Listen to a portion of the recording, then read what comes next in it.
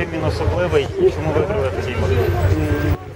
Справа в тім, що Володимир Степанович Петрович 19 років як- помер, але його друзі, колеги е, по роботі вшанування його пам'яті вже 19 рік поспіль проводять е, такі е, змагання серед юнаків і дівчат.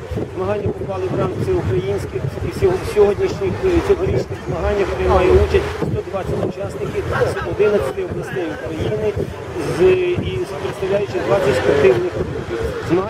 Тривають, тривали два дні 13-14 вересня на за містом на Чернівецькому шосе. І сьогодні останній день підсумковий.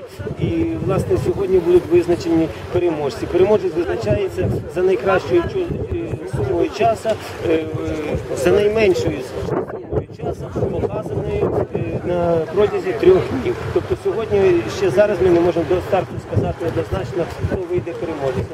Наразі лідирує спортсмен з Рівного, на другому і третьому місці йдуть тернопільські спортсмени. Як сьогодні складеться спортивна боротьба, будуть визначені переможці.